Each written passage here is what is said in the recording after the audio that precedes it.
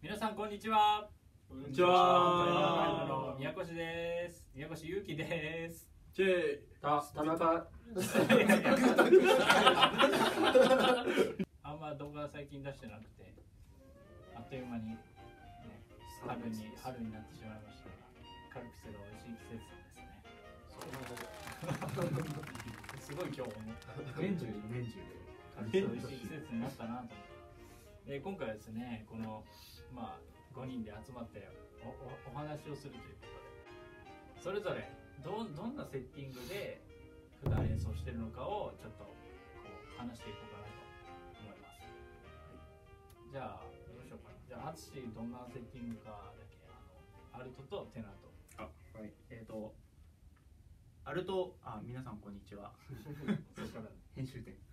えっ、とアルトはセルマーの、えー、とシリーズ2でネックは金メッキのネックにしてます。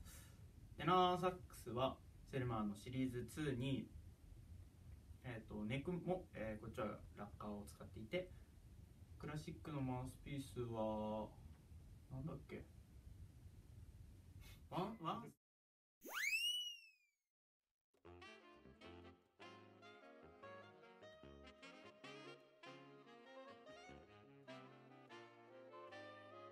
はいそんな感じですじゃあ健太君テナー。てなね、はい。こんにちは。健太です。えー、この間は3月22日リサイタルの中で開きました。聞きに来てくれたく、聞きに来てくださった。皆様、聞きに来てくれたく、聞きに来てくださった。皆様ありがとうございました。なんでその自分のえーそういう番宣やめてよ。あ、カットで終わってんじゃん。終わってる。え次の設定しなくていいの？あ、していいの？今。じゃあ、うん。えっと、次回10月2日。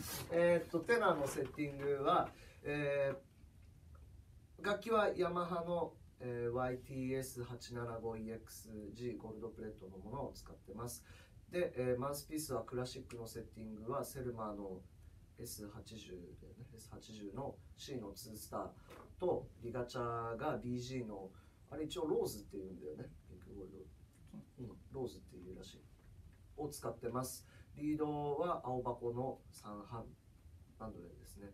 と、えージャズのセッティングは、えーなんだっけバンドレンの V16 メタルの、えーラージチェンバーの確か7番だったと思いますちょっと覚え自分の中に リガチャーは、えーなんだっけ？フランソワールドそう、それ、フランソワルイを使ってます。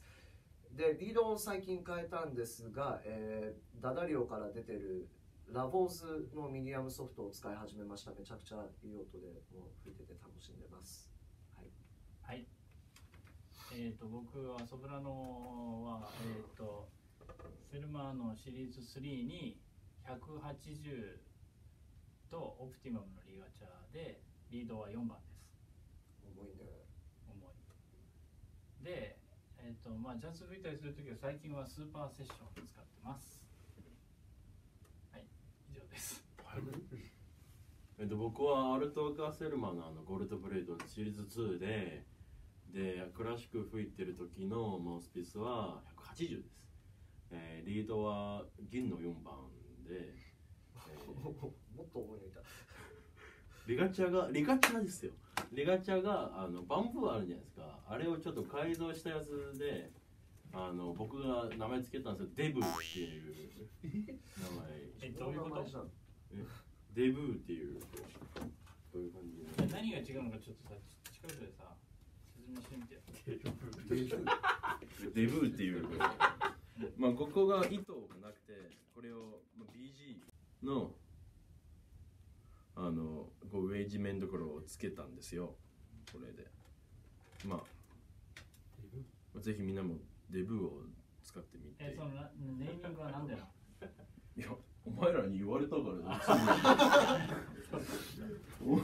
言って ないでしょ っていうことで。オリジナルリガチャってことね。そうですまあそうです。で既製品だけど既製品を2つこう掛け合わせてあ自分のリリガチャを作った。とそうです。もうなるほどハイブリッドなハイブリッドなであのジャズの時はえーえーなんか使ってるんですよ。ちょっと全然出てこない。ななんだっけ？オートリンク。アドリンク。の6番。あとリードがえー、確か AA の。ええ？青いあ赤いやつなんていうの？ジャバえ？あ、ジャバ、あ、ジャバか。赤ジャバの赤ジャバ、赤ジャバの、うん、2班。で、リガチャはわかんないです。あの、付属のやつ使ってます。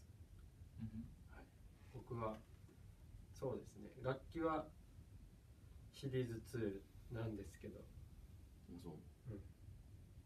でマウスピースとリードとリガチャはクラシック吹く時もジャズっぽいの吹く時も全然変えてません。一緒です。ルソーは 5R、えールソーじゃない。マッピはルソーで 5R でリードは青箱の3班で、えーリガチャがウッドストーンです。吹き方で変えてます。いえ素晴らしい。素晴らし。いという感じですが。えっ、とまあなんかわかわかんないというか気になる点とかあれば全然質問していただいていいので。えそれ何とかそれ吹きにくくないのとかそんなんでもいいんで。なんかぜひメッセージをメッセージをくいただけれれればばなと思います。おお教えいたします。なんか久しぶりの動画だからなんかこうテンションがあんま上がらないんだけど。どうしたらいいかわかんないよ。ね。ちょっと照れてるし。まあ、とりあえずねセッティングっていうのはみんな気になる点だと思うのでえっ、とまあ多分これからどいろいろこうちょくちょく変わっていくと思うんでその辺にも注目してご覧いただけたらなと思います。では今日は以上こんこんな感じでいいですかね。はい。はい。ありがとうございました。バイバイ